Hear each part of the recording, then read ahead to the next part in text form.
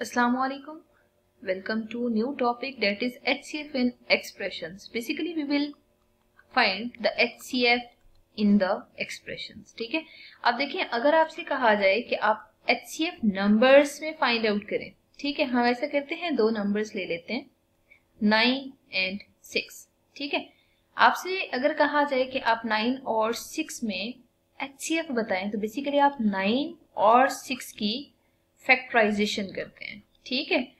जिसे हम prime factorisation कहते हैं। Three threes are nine and three one are three similarly two threes are six and three one are three तो basically आप इनके जो प्राइम फैक्टर्स हैं, उनको यहाँ पे पुट करें। Three into three and two into three आ रहा है। दोनों में देखें कॉमन क्या आ रहा है? थ्री कॉमन आ रहा है। अगर थ्री कॉमन आ रहा है तो यहाँ पे आप कॉमन फैक्टर लिखें डेट इज़ थ्री उसी कॉमन फैक्टर को आप हमेशा एच सी एफ़ कहते होते हैं, ठीक है? एच सी एफ़ हमेशा कॉमन फैक्टर होता है तो बेसिकली इसका सोल्यूशन क्या आ रहा है? थ्री के इक्वल आ रहा है।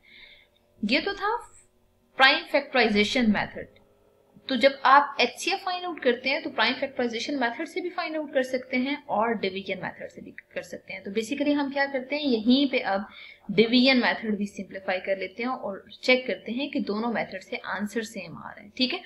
अब आप यहाँ पे बाय डिवीज़न मेथड देखें तो डिवीज़न मेथड में आपने हमेशा क्या करना है, इन दोनों को डिवाइड करना होगा। बेसिकली नाइन को सिक्स से डिवाइड करें। सिक्स वन जा सिक्स आ रहा है। आप इसको सॉल्व करें आंसर विल बी थ्री अब देखें सिक्स और थ्री दोनों डिवाइड नहीं हो सकते क्योंकि जो डिविडेंट है वो छोटा आ गया अब आप सिक्स को डिविडेंट बना लें थ्री को डिवाइजर और थ्री टू जा सिक्स आंसर आ रहा है। आंसर इज़ ज़ीरो जब आपने डिवीज़न मेथड से एचसीएफ निकाला तो ये जो लास्ट डिवाइजर होता है बेसिकली लास्ट डिवाइजर को हम हमेशा एचसीएफ कहते हैं, ठीक है? तो इस मेथड से आप जब एचसीएफ ले रहे हैं, तब भी थ्री आ रहा है। तो दोनों से वेरीफाई कर लें कि जो सोल्यूशन है, वो सेम आ रहा है। अब हम मूव करते हैं अल्जेब्रिक एक्सप्रेशन पे। बेसिकली जब आपने H C F in algebraic expression find out करना है, या पोलिनोमियल्स तो आपने डिफाइन करना है the higher number of factors common to all given expressions.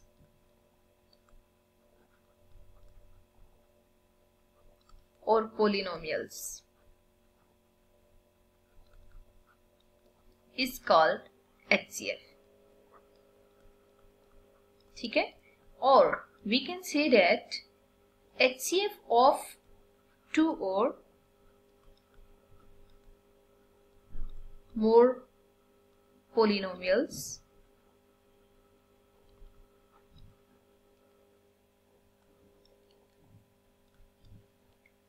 Is a polynomial of highest degree. Which exactly divides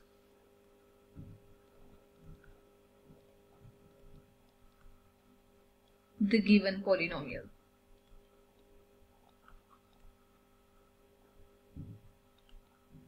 ठीक है अब हम बेसिकली इन दोनों स्टेटमेंट्स को वेरीफाई करेंगे फ़र्स्ट डेफिनेशन ये है कि जो हाईएस्ट कॉमन फैक्टर है, वो basically higher number of factors हैं जो कि उस एक्सप्रेशन में कॉमन है। और सेकंड जो हमने यहाँ पे और के बाद स्टेटमेंट लिखी है, वो ये है कि जब आप H C F find out करेंगे तो वो हमेशा कंप्लीटली डिवाइड करता है उन दोनों फैक्टर्स को। तो बेसिकली हम यहाँ पे दो एक्सप्रेशन कंसिडर करते हैं। Let see the one is x square minus y square and the other one is x square minus x y ठीक है? अब हम इन दोनों में सबसे पहले H C F find out करते हैं। तो एच सी एफ़ अगर आपने फाइंड आउट करना है तो जैसे आप prime factorisation method numeric values के लिए करते हैं तो यहाँ पे भी हमें प्राइम फैक्टराइजेशन नहीं, बल्कि सिंपल फैक्टराइजेशन करनी होगी। ठीक है? तो x square minus y square की जरा फैक्टराइजेशन करें तो एक्स प्लस वाई और एक्स माइनस वाई के इक्वल है। ठीक है? बेसिकली आप नेक्स्ट टर्म एक्स स्केयर और एक्स वाई इसमें x को कॉमन ले तो आंसर x माइनस वाई के इक्वल है। तो यहाँ पे देखिए कॉमन फैक्टर किसके इक्वल है? x माइनस वाई तो फ़र्स्ट डेफिनेशन क्या थी? उसके अकॉर्डिंग आपने ये कहा था the highest number of factors common to all the given expression her given expression में जो कॉमन आ रहा हो, उसे आप एचसीएफ कहते हैं, ठीक है? अब जो सेकंड हमने वहाँ स्टेटमेंट लिखी थी ना, उसको जरा वेरीफाई करते हैं। उसमें ये था कि जो कॉमन फैक्टर आप लेंगे, वो एचसीएफ ही है और वो एच गिवन एक्सप्रेशन को हमेशा कंप्लीटली डिवाइड करता है, ठीक है? अब आप ऐसा करें x square minus y square ले लें और इसको जरा x minus y means H से डिवाइड करें। तो इसको एक्स सी एफ़ से डिवाइड करेंगे तो x square minus x y term आ रही है, ठीक है? दोनों को जरा माइनस करें साइन चेंज करने होंगे। तो आंसर क्या आ रहा है? Minus y square plus x y ठीक है? अब देखें, आपको यहाँ पे एक्स वाई चाहिए तो ऑब्वियसली आप वाई से मल्टीप्लाई करेंगे। Answer is x y minus y square ठीक है?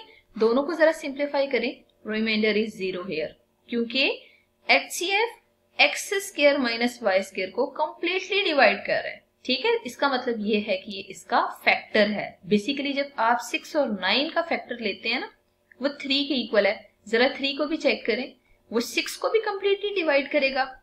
और नाइन को भी। बेसिकली फैक्टर की डेफिनेशन ही ये होती है, वो गिवन नंबर्स को या गिवन एक्सप्रेशंस को कम्प्लीटली डिवाइड कर रहा होता है। तो यहाँ पे भी आप देख सकते हैं कि जो आपने कॉमन फैक्टर यहाँ पे लिया, जो कि एच सी एफ़ के इक्वल आ रहा है, वो फ़र्स्ट एक्सप्रेशन को कंप्लीटली डिवाइड कर रहा है। अब हम ऐसा करते हैं x square minus x y से डिवाइड कर लेते हैं। देखिए x square minus x y और एक्स माइनस वाई आपने हमेशा वो जो कॉमन फैक्टर है ना, उसको डिवाइजर ही लेना होगा। ठीक है? इन दोनों को जरा डिवाइड करें। एक्स से डिवाइड करेंगे तो x square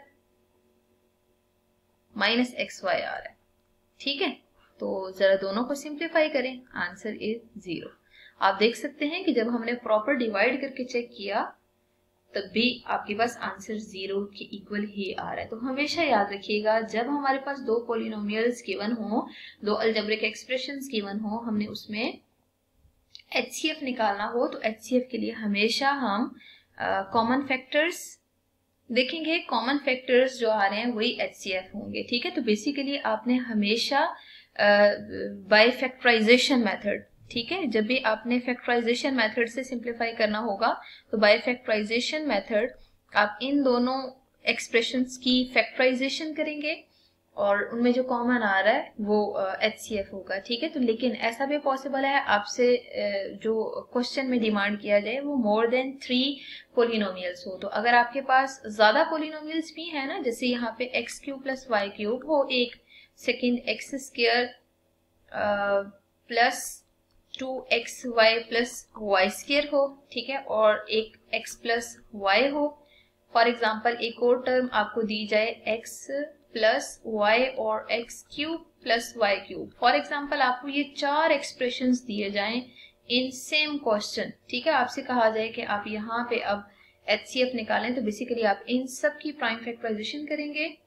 sorry not prime factorization करेंगे. ठीक है? प्राइम फैक्टराइजेशन नंबर्स में होती है. और जो उनमें कॉमन फैक्टर आ रहा है, उसी को आप एच सी एफ़ कंसिडर करेंगे. इनशाला in the next lecture will practice questions related to prime factorization method or factorization method in algebraic expressions.